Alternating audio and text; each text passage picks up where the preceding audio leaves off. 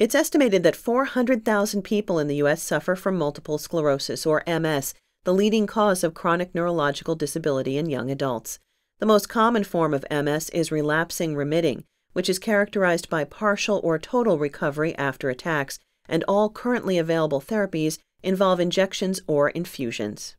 Living with MS is really hard because um, people don't understand the disease. One of the biggest inconveniences or difficulties is the way that I have to take the injections. Physicians are investigating a new oral experimental drug called laquinimod, which could be a significant improvement for patients like Ann, who currently must take an injection or infusion. Laquinimod is an easy-to-use, once-daily oral investigational drug currently being developed for the treatment of relapsing remitting multiple sclerosis.